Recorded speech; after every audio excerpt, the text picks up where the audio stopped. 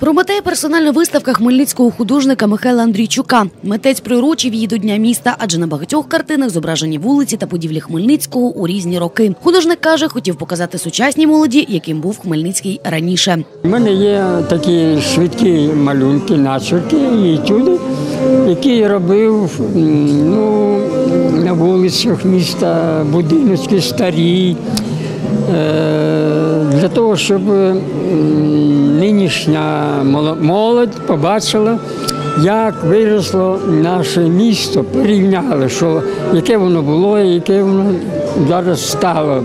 Виставка Прометей ретроспективна, тобто складається з робіт, які виконані в різні роки. Найстарша з робіт виконана у 68-му.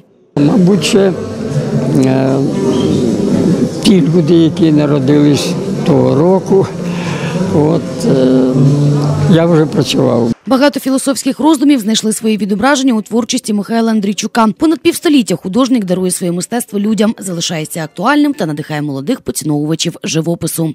Тут е, дуже така стримана техніка, е, показано життя тим, чим він живе. Видно, що на деяких роботах він закликає нас до віри до Бога. Саме більше мені от, оця от робота якраз таки до Прометея, виконана в такій специфічній техніці. Виставка Прометей діятиме в Хмельницькому обласному художньому музеї до кінця жовтня. Вікторія Земба, Роман Судаков. Новини телеканал Ексклюзив.